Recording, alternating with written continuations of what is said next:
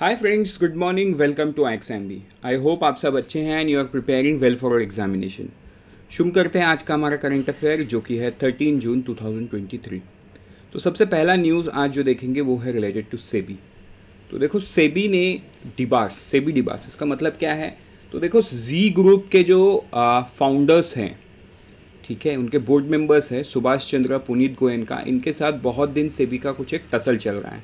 Reason being जब ये board member थे, सुभाष चंद्र एंड पुनीत गोयनका तो ये लेटर ऑफ़ कंफर्ट करके होता है ये लेटर ऑफ़ कंफर्ट के थ्रू इन्होंने क्रेडिट फैसिलिटी एक्सटेंड किया राइट right? तो लेकिन वो बहुत मल्टीपल मतलब जिसको हम यूजुअली शेल कंपनीज़ बोलते हैं राइट right? तो बहुत सारे कंपनी घूम घूम के, घूम घूम के वो कहाँ पे आया जी ग्रुप के आया, जिस ग्रुप के ये बोर्ड मेंबर थे राइट right? तो इससे हुआ ये कि इनको पर्सनल फ़ायदा बहुत हुआ। मतलब कुछ 200 करोड़ रुपए के आसपास इनको फ़ायदा हुआ। तो सेबी ने अभी क्या कर दिया है? सेबी ने अभी ये बताया कि जी एंटरटेनमेंट एंटरप्राइज के प्रोमोटर्स जो है, and Essel group chairman Subhash Chandra, जो कि मैनेजिंग डायरेक्टर हैं नहीं, Subhash Chandra and managing director and CEO है पुनीत गोयंका। ये दोनों कोई भी लिस्टेड कंपनी में कोई की पोजीशन होल्ड नहीं कर सकते। So this is biggest setback for their career क्योंकि लिस्टेड कंपनी कोई भी लिस्टेड कंपनी में ये अभी कोई की पोजीशन होल्ड नहीं कर पाएँगे, ये सेबी ने बोल दिया for allegedly diverting assets of Essel group companies ठीक है? तो ये इंपॉर्टेंट न्यूज़ है। बढ़ते हैं आगे। नेक्स्ट न्यूज़ में अब हम देखते हैं रिटेल इन्फ्लेशन एंड आईआईपी तो देखो रिटेल इन्फ्लेशन क्योंकि ये एंड आईआईपी ये मंथली डेटा है। राइट, ये डेटा कौन देता है? ये डेटा है आपका N S O N S O किसके ऑफ़िस के अंडर में आता है? एक्चुअली इसको ऐसे अगर लिखेंगे तो आपको अच्छा समझ में आएगा। M O S P I इस मिनिस्ट्री के अंडर में एक ऑफ़िस आता है एन एस ओ वो ये डेटा मंथली रिलीज़ करती है। क्या डेटा? आई आई पी और सी पी आई इन्फ्लेशन आपको याद रखना है कि सी पी आई का डेटा एन एस ओ देती है, ना कि डब्ल्यू पी आई का। तो देखो सीपीआई का डेटा मई मंथ के लिए आ गया ये 4.25 हो गया क्या? मई 2023 ठीक है? अगर हम आईआईपी की बात करें तो आईआईपी भी बढ़ता हुआ नज़र आ रहा है। ये है अप्रैल का। 2023 तो देखो आईआईपी का डेटा आने में थोड़ा सा टाइम लगता है because it's about industrial index तो थोड़ा सा डेटा कलेक्ट करने में एन को टाइम लगता है। तो एक महीना पीछे चलता है वो।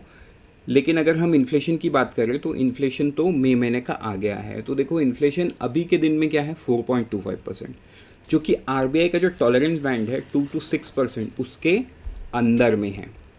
तो इससे होता ये है कि दो से छः परसेंट के अंदर में होने का मतलब ये है कि आरबीआई अब ग्रोथ में फोकस कर सकता है बिकॉज़ इन्फ्लेशन तो ऑलरेडी कंट्रोल्ड है। क्यों? क्योंकि देखो इन्फ्लेशन जब हाई होता है तो आरबीआई का प्राइमरी टारगेट होता है कि इन्फ्लेशन को कम करे वाइल सपोर्टिंग ग्रोथ लेकिन जब रेपो रेट हाई होता है तो वो कहीं ना कहीं ग्रोथ को इम्पैक्ट करता है because cost of borrowing in the economy goes up तो आज के दिन में रेपो रेट 6.5 है, ये बहुत हाई रेपो रेट है स्टिल अब ये हाई इसलिए है क्योंकि पिछले साल 250 बीपीएस पॉइंट से आरबीआई ने रेपो रेट को बढ़ाया है. क्यों? क्योंकि इन्फ्लेशन सात परसेंट से ऊपर चला गया था. राइट? तो वो कंट्रोल होके अब इन्फ्लेशन जो है चार परसेंट के आसपास आ रहा है। तो अब धीरे धीरे ये देखना पड़ेगा कि आरबीआई कब कॉस्ट ऑफ़ बोरिंग को कम करता है।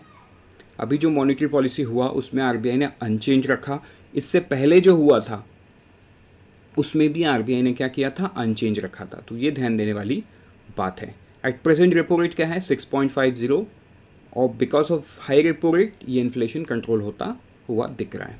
बिकॉज़ रेपो रेट के ज़्यादा होने से कॉस्ट ऑफ़ बोरिंग हाई होता है, वो तो इम्प्लीकेशन है। लेकिन जो लिक्विडिटी है कैश इन हैंड वो कम होता है राइट मनी सप्लाई कम होता है। मनी सप्लाई कम हुआ तो ऑब्वियस सी बात है एग्रीगेट डिमांड इकोनॉमी में बूस्ट नहीं हो पाता है।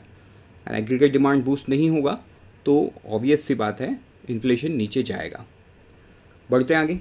नेक्स्ट न्यूज़ में वो है आई बैंक देखो इंडियन ओवरसीज़ बैंक इन्होंने एक स्कीम लॉन्च किया है that will let customer choose any name as their saving account number with the Chennai based lender क्योंकि आईओबी बैंक चेन्नई बेस्ड है तो इसीलिए चेन्नई बेस्ड लेंडर ऐसे न्यूज़ वाले लिखते हैं।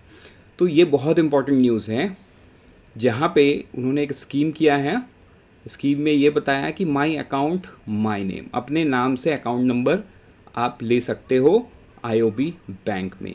ये स्कीम पूरे 49 regional office of the IOB in India मतलब देश भर में जितने भी आईओबी बैंक है, वो सब में एप्लीकेबल होगा।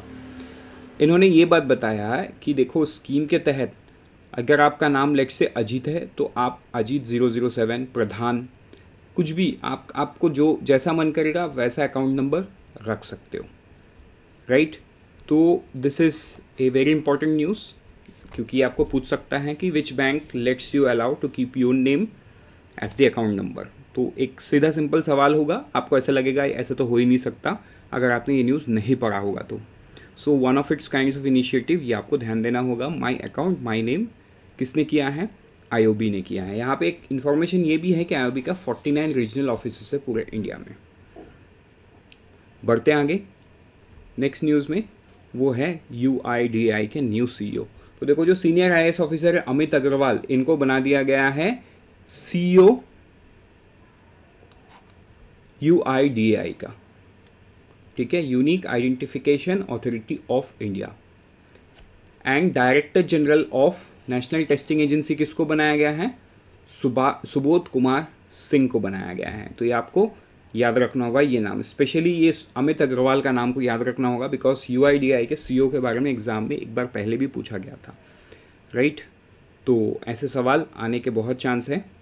Because U I D I is one organisation that is in news almost every month कुछ ना कुछ या तो इनको अवार्ड मिलता है, नहीं तो कुछ ना कुछ ये टेक्नोलॉजिकल चेंजेस ये लाते रहती है। तो उनके सी e जब चेंज हो रहे हैं वो हमें याद रखना ज़रूरी है।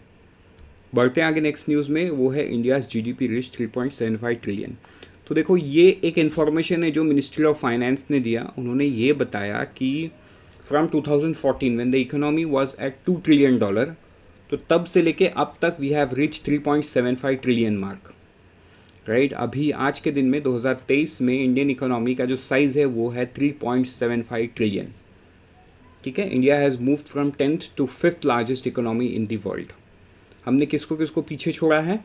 हमने United Kingdom France Canada Russia Australia को पीछे छोड़ा है। अब हमसे आगे यूएस चाइना जापान जर्मनी ही है।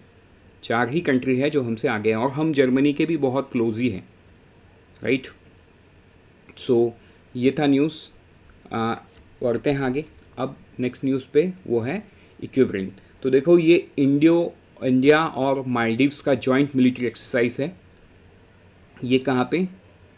चौबुतिया, उत्तराखंड में होने वाला है. तो देखो, ये आपको याद रखना है कि इक्विवेलेंट किसके किसके बीच में है? इंडिया और मालदीव्स के बीच में है. ये इंडियन आर्मी और जो मालदीव्स के डिफेंस फोर्सेस हैं वहाँ पे मतलब वो लोग इसको आ, मतलब ज्वाइन करेंगे ठीक है? Equivalent means friend is a bilateral annual exercise conducted alternatively in India and Maldives एक बार इंडिया में होता है एक बार मालदीव्स में होता है। तो ये आपको याद रखना होगा। और ये कहाँ हो रहा है? ये उत्तराखंड में हो रहा है ये भी आपको ध्यान देना होगा। बढ़ते आगे नेक्स्ट न्यूज़ में वो है a deal Asian Development Bank इन्होंने एक डील साइन किया है 130 मिलियन डॉलर का इंडिया के साथ for to promote horticulture in Himachal Pradesh Himachal Pradesh के फार्मर को हॉर्टिकल्चर बिज़नेस में हेल्प करने के लिए ये लोन को साइन किया गया है between India and ADB usually क्या होता है, देखो, ये loan from inter governmental body to state होता है.